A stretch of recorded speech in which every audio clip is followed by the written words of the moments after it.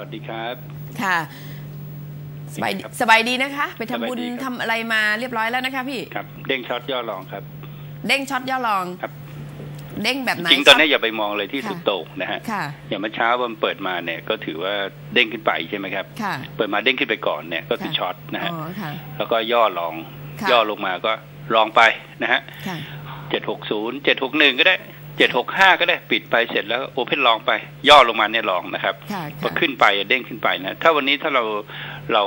เราไม่ทำตามนี้ สมมุติว่าเราไป follow ช็อตค่ะนะพอลงมานะครับหลุดเจ็ดห้าแปดไม่เจ็ดหกหนึ่งเราไปเราไป short ตอนนี้เรายังปิดไม่ได้เลยเห็นไหมฮะค่ะหรือว่าวิ่งขึ้นไปนะครับ ขึ้นไปที่เจ็ดเจ็ดศูนย์นะฮะแล้วเราก็ไปไป follow ลองนะฮะค่ะก็ติดอยู่เห็นไหมฮะอืม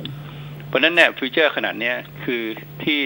ที่อ่าเรียนผ่านรายการมามาตั้งนานแล้วว่าเล่นอะเล่นเล่นสั้นจบในวันเนี่ยได้มากกว่านะฮะค่ะแต่กลยุทธ์ก็คือเด้ง short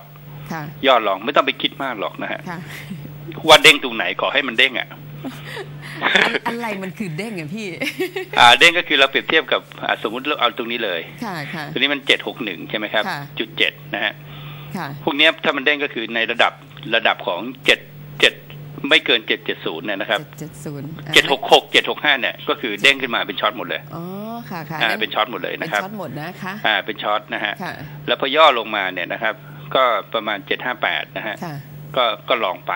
อ๋อค่ะ long ไปนะครับค่ะคือ volume ตลาดขนาดเนี้ยมันเหมือนกับว่า มันสมประโยชน์ทุกฝ่ายเลยค่ะนะฮะก็คือว่ามันก็ไม่อยากลงค่ะแต่ถ้าเราดูในไส้จะเห็นว่า มันเป็นเหมือนกับที่เราแนะนำก็คือว่าขนาดนี้เขาเริ่มมาขายหุ้นที่มันยังไม่ลงอืม จะเห็นว่าตอนเนี้ยกลุ่มธนาคารพาณิชย์นะครับค่าปลีกค่าส่งพาณิชย์เลยเพิ่งเริ่มลงเห็นไหมครับค่ะเริ่มลงแล้วก็เริ่มมีแรงขาย จะเห็นว่าหุ้นพวกเนี้ยติดชาร์ตนะฮะติดชาร์ตท็อป 10ค่ะแต่วอลุ่มวอลุ่มเยอะนะฮะแต่เป็นลบนะฮะส่วนกลุ่มที่ลงมาเยอะแล้วคือกลุ่มพลังงานปิโตรเคมีเนี่ยก็คือจะไม่ค่อยลงเห็นไหมครับ แล้ววอลุ่มก็จะไม่ค่อยมีค่ะถามว่าถ้าอย่างนี้ต่างชาติทำอะไรค่ะต่างชาติก็คือซื้อซื้อเออกลุ่มพลังงานส่วนหนึ่งม เพื่อประคองตลาดนะฮะค่ะแล้วก็ขายกลุ่มธนาคารสองส่วนค่ะเพื่อเพื่อให้เป็นเป็นสะสมเป็นเป็นขายหุ้นเพิ่มค่ะไปเรื่อยๆนะฮะก็ตลาดก็จะซึมไปตามนะครับ สถานการณ์ของต่างประเทศที่อยากมาเล่นกันค่ะนะเป็นปัจจัยต่างประเทศก็จะเอามาเดี๋ยวก็จะพูดเรื่องทุกเรื่องนี้นะครับค่ะแต่ก็คงเป็นในทางลงอยู่นะฮะก็คงค่ะถึงประมาณสักกลางเดือนนะฮะค่ะหลังจากนั้นข่าวก็อาจจะพิกอัพกลับมาเป็นบวกนะฮะค่ะ สักสิบห้าวันอะไรอย่างนี้นะครับอืมแล้วก็กลับขึ้นไปนะฮะคราวนี้ข้างล่างเนี่ยเราไม่รู้หรอกว่าเท่าไหร่นะครับค่ะแต่โดยประมาณก็คือ1080นะฮะตัวเลขอันนี้ก็คือแกลบแกลบที่เปิดไว้นะฮะมีการเปิดแกลบไว้ตรงนั้นแล้วต้องลงไปปิดซะค่ะก็ประมาณ 1080 นะครับอืมจากตรงนี้ก็ประมาณสัก 20 จุดใช่ไหมครับ ค่ะ ก็ไม่ได้เยอะนะคะพรุ่งใช่นี้ถึงหโดลัยกการลงไปก็ volume ไม่มีหรอกนะฮะค่ะเพราะฉะนั้นเนี่ยเราเราอย่าไปเราอย่าไปสุดโต่งนะฮะค่ะในการเล่น future เนี่ยเราเราจะบอกว่า ถ้ามันหลุดแล้วจะเลย follow short นะฮะหรือว่าวันเนี้ยก็ปิดไปซะนะ short มาตั้งแต่เช้าวันนี้ก็ปิดซะใคร long ก็ปิดไปซะอย่าไปถือข้ามวันนะฮะค่ะเพราะว่าตลาดแบบนี้มันสามารถที่จะวิ่งกลับไปเลยก็ได้นะใช่ฮะเมื่อเช้านี้นั่งดู future นะคะคุณนิพนธ์ครับภายใน 30 วินาทีเองนะคะใช่ฮะลงพรึบเดียวมา 10 จุดเนี่ยเนี่ยคือที่เราบอกว่าแข็งๆอยู่ที่เราบอกว่านะฮะว่าเอ่อในขณะเลือก future เนี่ยค่ะลูกค้าต้อง key เองไง ค่ะคือไม่มีทางเลยนะฮะที่อืมรอที่ marketing ที่จะให้มาติดต่อ marketing แล้วเนี่ยมันจะไม่ทัน 30 วิเท่ามันจะไม่ทันเพราะว่าหุ้นมันไม่มีทิศทางนะค่ะฮะเขาเรียกว่าตอนเนี้ยมันมันมันเป็นมันเป็นเกมที่ยากอืมไวนะฮะแต่ในในถ้าเราคีย์เองเนี่ยมันจะง่ายนะฮะปึ้งปึ้งใช่แล้วห้ามตัดสินใจๆค่ะอย่าไปตัดสินใจ อย่าไปคิดมากนะฮะอืมแล้วก็ห้าจุดสิบจุด สมมติว่ามันพลาดไปก็คือเขาบอกเขาบอกว่าอย่าไปค่อม อย่าไปค่อม อย่าไปค่อมทาง สมมติว่า วันเนี้ยใครช็อตใครลองมาเจ็ดหกห้าปิดไปซะค่ะคืออย่าไปค่อมเดี๋ยวพรุ่งนี้เริ่มใหม่อ่าทำอยู่แบบเนี้ยเพราะว่าอะไรเพราะว่าตลาดไม่มีทิศทางนะฮะอืมเราอย่าลืมว่าหนึ่งหนึ่งศูนย์หนึ่งเนี่ยหนึ่งพันหนึ่งร้อยเนี่ยนะครับ เป็นแนวเป็นแนวที่สำคัญค่ะนะครับ ซึ่งซึ่งมันก็บอกว่าถ้าไม่หลุดก็อย่าลงมานะฮะค่ะแต่มันบอกว่าถ้าหลุดลงไป มันก็ไม่ได้บอกว่ามันจะหลุด เพราะว่ามันไม่มีวอลุ่มมันจะซึมไปตามข่าวมากกว่านะฮะค่ะ ซึ่งเราก็ไม่รู้หรอกนะฮะว่าว่าเออว่าใช่พรุ่งนี้ใช่จะเอาข่าวอะไรมาเล่นนะฮะอืมแต่รู้ว่าเป็นข่าวลบนะครับ แต่เรามองว่าเป็นลงอยู่ละให้เรามองว่าเป็นเด้งช็อตได้เปรียบค่ะดีคือเด้งว่าก็ short ไปนะฮะค่ะสมมุติว่าคน follow short มาเนี่ยเดี๋ยวเมื่อเช้าเจ็ดหกศูนย์เจ็ดหกหนึ่งค่ะตอนนี้ยังขาดทุนอยู่เลยเห็นไหมฮะค่ะคือสำคัญที่กลยุทธ์นะฮะ future เนี่ยไม่ได้สำคัญที่ว่าตกลงจะ short ตรงไหนตกลงจะ long ตรงไหนอ่าใช่อ่าถามว่าเด้งขนาดไหนค่ะเด้งที่ที่แบบว่า สมมติมันเด้งขึ้นไปเมื่อเช้าเนี่ย ครั้งแรกมันขึ้นไปเนี่ย ทุกคนก็ไม่กล้า short ใช่ไหมเจ็ดเจ็ดสี่จุดเจ็ดนะทุกคนไม่กล้า short อืมจริง ๆ ก็คือว่ามันเด้งจนถึงขนาดที่เราไม่กล้า short นะอ๋อพอ short ตอนตอนบ่ายเนี่ยเราก็จะบอกว่าเดี๋ยวมันจะขึ้นไปเจ็ดเจ็ดศูนย์อีกครั้งหนึ่งนะเห็นไหมฮะ มันก็เด้งขึ้นไปเจ็ดเจ็ดหนึ่งจุดเจ็ดเห็นไหมครับ มันเด้งเป็นแท่งที่สองตอนสิบเอ็ดโมงนะฮะค่ะหลังสิบเอ็ดโมงเนี่ยก็คือเด้งแล้วก็เป็น short นะฮะอืมแต่ถ้าใครใครใครบอกว่าอะมันลงมาแล้วเจ็ดหกศูนย์แล้วก็ follow short เป็นไงครับค่ะ ตอนนี้ก็ขาดทุนเห็นไหมฮะอ่าใช่สำคัญที่กลยุทธ์มากกว่านะฮะค่ะคือ SET Index สรุปว่ามันเป็น sideway downค่ะแล้วมาถึงจุดที่เป็นแนวรับสำคัญค่ะซึ่งไม่ได้ยอมกันง่ายอืมๆนะครับ ถามว่าทำไมยอมไม่ยอมกันง่ายเพราะว่าในตลาดหุ้นบ้านเราเองเนี่ยนะครับ มันไม่ได้มีปัญหาในเรื่องปัจจัยพื้นฐานนะฮะมันมีปัญหาเรื่องความกลัวนะฮะความกลัวที่เกิดขึ้นจากจากเรื่องต่างประเทศ ซึ่งในพื้นฐานไม่ได้กระทบมาที่เราทันทีนะครับ หรือกระทบก็ไม่ได้กระทบมาก ในแง่ที่ทำให้กำไรของบริษัทจดทะเบียนเปลี่ยนอ่าใช่ค่ะใช่ไหมครับ แต่ถามว่าทำไมมันลงเขาบอกหุ้นเนี่ยตามทฤษฎีหุ้นมันบอกว่าหุ้นขึ้นลงตามความรู้ความกลัวของผู้คนนะครับ เป็นอย่างเป็นระบบและเป็นจังหวะจากโคนนะค่ะไม่ไม่ใช่ไม่ใช่ขึ้นลงเพราะปัจจัยพื้นฐานเปลี่ยนนะฮะค่ะมันขึ้นลงจากคุณกลัวปัจจัยพื้นฐานเปลี่ยน แต่นี่คุณกลัวอะไรคุณกลัวเรื่องว่าจะเกิดการรันธนาคารนะฮะในในในยุโรปถูกไหมครับ ธนาคารในสเปนในอะไรพวกเนี้ยอิตาลีพวกเนี้ยกลัวกลัวก็เลยมาขายหุ้นบ้านเรา ถ้าถามว่าแบงก์เทพจะล้มเหรอไม่ใช่อืมใช่ค่ะมันไม่ใช่ไงแต่มันกลัวแต่หุ้นมันลงนะฮะเพราะฉะนั้นเนี่ยในในทฤษฎีของหุ้นเนี่ยมันบอกว่า พอคนกลัวแล้วเนี่ย มันไม่รู้ว่าจะคำนวณยังไงนะฮะว่ามันจะลงไปเท่าไหร่นะฮะแต่เราต้องบอกว่าขณะนี้เอ่อถ้าไม่มีแก๊งสี่โมงเย็นนะค่ะเราจะเห็นว่าตลาดหุ้นเนี่ย ผมทำผมทำนายเลยวันเนี้ยแก๊งสี่โมงเย็นไม่ได้เล่น เราถามว่านะครับดูตลาดหุ้นแบบเนี้ยมันดูดีกว่าไหมค่ะมันดูดีกว่าก็คือถามว่า future มันเล่นได้ไหม มันไม่เปิดโดดเลยเห็นไหมครับค่ะมันทุกคนก็สามารถที่เข้าไปเล่นได้ถ้าใครเข้ามาฝึกเล่นน่ะอะย่อ long ค่ะเด้ง short ย่อ long นะครับค่ะทุกคนก็ฝึกเล่นได้ถูกไหมครับค่ะก็จะได้ฝึกตัดสินใจในการลงทุนได้ค่ะไม่ใช่ว่าพอบ่ายเปิดมากระโดดลงไป 20 จุดแบบเนี้ยอืมไอ้เนี่ยแก๊งสี่โมงเย็นค่ะอ๋อนะครับนคือด้ถ้าไม่มีแก๊งโงสี่โมงเย็นนะตลาดหุ้นมันจะเป็นแบบเนี้ยอ๋อแก๊งสี่โมงเย็นที่ผมพูดถึงเนี่ยค่ะก็คือพอร์ตโบรกเกอร์นั่นแหละค่ะ นะครับ ต้องจับตามองอย่างใกล้ชิดนะครับอืมคือถ้าเราต้องการการเกิดขึ้นเนี่ยนักลงทุนเนี่ย ถ้าเราสัมผัสกับเขานะครับ ใกล้ชิดเนี่ย จริง ๆ แล้วเนี่ยเขาเป็นนักลงทุนนึกออกไหมครับค่ะเขาเป็นนักลงทุนที่สามารถที่จะซื้อปตทสามร้อยติดไปกี่ปีก็ได้นะฮะค่ะคือนักลงทุนไทยน่ารักมากนะฮะอืมเป็นเป็นคนที่น่ารักอะนะครับค่ะแต่แต่แต่อ่าในการในการแต่ถ้าตลาดหุ้นเป็นแบบนี้ใครเสียประโยชน์นะฮะค่ะบล็อกเกอร์เสียประโยชน์เพราะเขาเพราะว่าวอลุ่มมันจะไม่มีถูกไหมครับค่ะ แต่มันไม่มีแต่การลงทุนมันมี การลงทุนเนี่ยมันจะเกิดขึ้นโดยสภาพตลาดที่เป็นแบบเนี้ยค่ะไม่ใช่อยู่ดีๆนะครับ อย่างวันนี้ถามถามว่าทำไมตลาดหุ้นต้องลงนะครับ เพราะเมื่อวานเนี่ยเขาลงกันสามเปอร์เซ็นค่ะสี่เปอร์เซ็นต์นะครับ วันนี้เราก็มาชดเชย แต่ถามว่าเราต้องชดเชยเยอะไหมค่ะเยอะแค่นี้เพียงพอครับโอเคที่พอแล้วเหรอคะก็น่าจะพอ แต่อ๋อถ้าจะพูดต่อก็คือพูดถึงพรุ่งนี้ค่ะพรุ่งพรุ่งนี้นี้สมมุติว่าเอ่อในในในจาการ์ตาในฟิลิปปินส์เขาลงต่อนะฮะเอออย่างนี้ก็พูดถึงพรุ่งนี้ต่อนะครับค่ะแต่วันเนี้ยได้ชดเชยวันหยุดไปแล้ว น่าจะพอแล้วนะฮะหนึ่งเปอร์เซ็นต์นี้นะคะ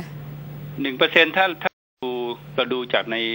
ในจาการ์ตานะครับ จาการ์ตาเขาเมื่อวานสามกว่า วันนี้อ๋อเขาก็เขาลงมากกว่าเขาก็เราบวกมาหนึ่งกว่านะฮะอืมเท่าเขาก็ประมาณหนึ่งจุดห้านะฮะค่ะนี่จาการ์ตาเขาจะอ่อนแอกว่าเรานะครับ อ๋อเพอ๋ราะเขาถูกเขาถูกอ่าลดน้ำหนักการลงทุนอ๋อค่ะนะครับอืมเออ สรุปว่าอย่าค่ะสุดโต่งอย่าอย่าไปมองสุดโต่งว่าหุ้นมันจะต้องลงแรงนะฮะค่ะค่ะลงไปเลยหรือว่ามันจะ rebound ขึ้นไปแรงๆเลยไม่ใช่นะฮะค่ะผมสรุปว่าหุ้นเนี่ยนะครับ ถ้าใครมีหุ้นนะครับ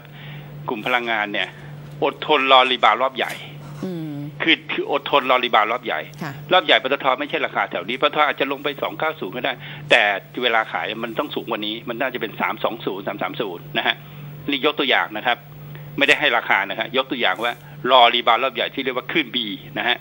รอรีไม่รู้ว่าเกิดเมื่อไหร่นะครับอ่าอาจจะเป็นอาจจะเป็นเอ่อปลายเดือนก็ได้นะฮะอ่าซึ่งก็ต้องอดทนรอไปนะฮะค่ะก็ดียังมีเขาเรียกว่าแสงสว่างปลายอุโมงค์ให้อดให้รอก็คือหุ้นเนี่ยมันถ้าเรารู้ทฤษฎีมันน่ะค่ะมันลงทำขึ้น A อยู่เนี่ยมันยังไม่จบคลื่น A นะครับค่ะแต่ขึ้น B นะเขาเรียกการ rebound ใหญ่มันจะเกิด ครั้งบางครั้งมันใช้เวลาเป็นเดือนนะครับค่ะค่ะมันขึ้นเป็นเดือนๆเลยนะฮะฝากทุกท่านที่ติดติดหุ้นไว้ใช่ทนกันไปแต่หุ้นที่ยังไม่ลงนะฮะค่ะสมมติสมมติผมยกตัวอย่าง CP ดีกว่า เพราะยังไม่ลงนะฮะคือ 42 กับ 36 เนี่ยค่ะผมผมนิดนึงก็คือว่า CP เนี่ยยังไม่ได้เปลี่ยนเป็นแนวโน้มลงค่ะเต็มรูปแบบนะครับ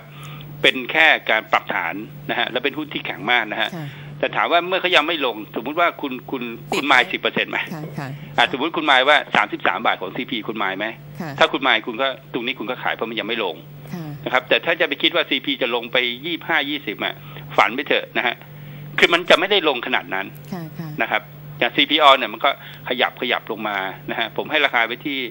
สามสิบสองนะฮะมันก็ใกล้ถึงแล้วเห็นไหมครับค่ะค่ะนะฮะถ้าแต่ถ้าเราไม่มายนะครับ ราคาที่จะลงมาสักสิบเปอร์เซ็นต์เนี่ยเราก็อย่าไปยุ่งกับมันค่ะ ก็ถือไปนะฮะค่ะอะแถวทางด้านทองคำแล้วค่ะทองคำเอ่อทองคำเนี่ยมันมันเหมือนที่ที่เราเคยบอกไปนะครับ ว่าถ้ามันไม่หลุดหนึ่งห้าศูนย์มันจะ rebound นะฮะก็ถ้าผมวัดเนี่ยผมรับวัดได้หนึ่งสี่สี่ศูนย์นะฮะค่ะเอ้ยหนึ่งหกสี่ศูนย์นะครับค่ะหนึ่งหกสี่ศูนย์ตรงนั้นเนี่ยนะครับ ก็คือตรงที่จะปิดก็เหมือนกับว่าจะมีอีกระลอกหนึ่งอืมนะครับได้อีกขอเหรต้องคะทำ ตอนนี้มันอยู่ที่เอ่อหนึ่งหกหนึ่งแปดหนึ่งหกหนึ่งแปดนะฮะคราวนี้ก็ดูนิดนึงตรงหนึ่งหกศูนย์แปดเนี่ยอย่าอย่าให้ต่ำกว่านั้นนะครับค่ะถ้าต่ำกว่า1608เนี่ยก็ก็ระวังนิดหนึ่งนะค่ะอาจจะต้องลองมาเพราะเราลองมาจากจากเอ่อ1550ใช่ไหมครับ ย่อลงไปเราลอง1550เนี่ย จริง ๆ จริง ๆ ก็ในในเกมที่ยากแบบทองคำเนี่ยนะฮะถ้าปิดเนี่ยผมว่าได้เยอะนะค่ะนะครับ คือคือตอนเนี้ยทุกเกมเนี่ยมันห้ามห้ามโลภหมดเลยค่ะ นะฮะเราก็คืออย่าไปโลภดีกว่า ถ้าเราอืมสมมุติว่าเราเราพอแล้วนะฮะออกมาดีกว่านะฮะอืมแล้วก็อืมถ้ามันเด้งขึ้นไปหนึ่งหนึ่งหกสี่สองหนึ่งหกสี่สี่แล้วก็กลับไปเป็นขาช็อตข้างบนดีไหมฮะค่ะแต่ขาลองที่ลองมาจากข้างล่างเนี่ย ก็คือปิดไปก่อนอืมปิดเอาตังค์ไว้ก่อนปิดอะปิดหน้าต่างเพราะมันยากเพราะว่าอย่าลืมว่ามันขึ้นมาแท่งเดียวเนี่ย เป็นแท่งเจ็ดสิบเหรียญใช่ไหมฮะค่ะซึ่งซึ่งเราก็บอกว่า เออนะเจ็ดสิบเหรียญนี่มันเยอะนะค่ะ ใช่ครับค่ะถ้าเป็นเป็นรู้สึกว่าทองบาทก็จะเกือบพันค่ะหรือเจ็ดร้อยบาทนะฮะใช่ตบาททองเจ็ดร้อยบาทแค่แค่เอ่อวันเข้าวันวิสาขะใช่ไหมแต่ทองไทยไม่ได้ล่วงหนักนะเนื่องจากเงินบาทเด้งหรือเปล่าอะฮะในช่วงเงินบาทก็มีแนวโน้มที่ที่เหมือนจะจะตื้อๆแล้วนะฮะค่ค่ะก็คือแข็งๆยู่เริ่มที่จะแข็งแล้วนะฮะอืมแข็งมาแต่ยังไม่ได้ตัดสินนะครับ แต่เงินดอลลาร์เนี่ยเหมือนจะเหมือนกับจะตัดสินแล้วค่ะดอลลาร์เหมือนก็จะตัดสินว่ากำลังที่จะอ่อนตัวค่ะ นะครับเพราะลงมาสามแท่งสามวันต่อเนื่องนะครับอ๋อค่ะเหมือนเหมือนกับที่บอกว่าหุ้นมันเป็นแนวโน้มแนวโน้มลงเปลี่ยนแนวโน้มอะค่ะดอลลาร์เนี่ยกำลังทำทำกำลังจะเปลี่ยนแนวโน้มจากแข็งค่ามาเป็นอ่อนค่าอยู่ค่ะ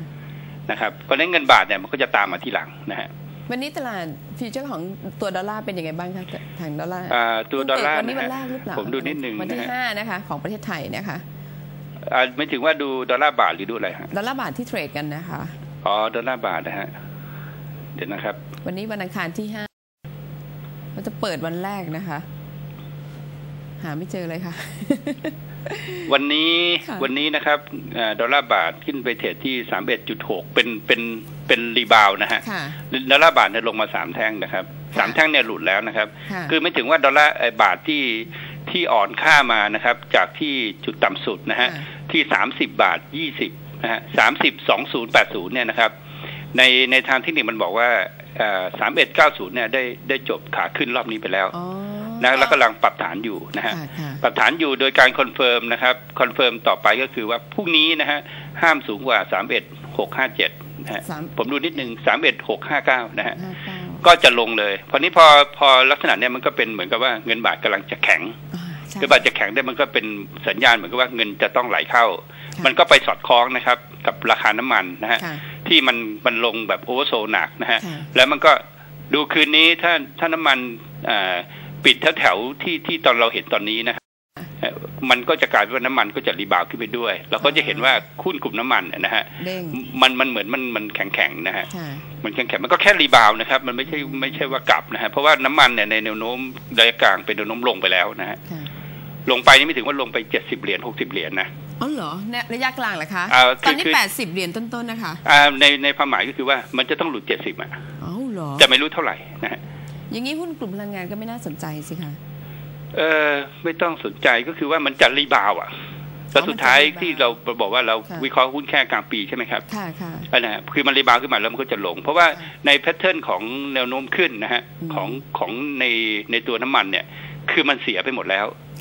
นะครับในเลเวลบอก4หลุดหนึ่งหลุดไปแล้วนะฮะค่ะก็คือที่ขึ้นมาเป็น B แล้วก็จะลงจะทำ C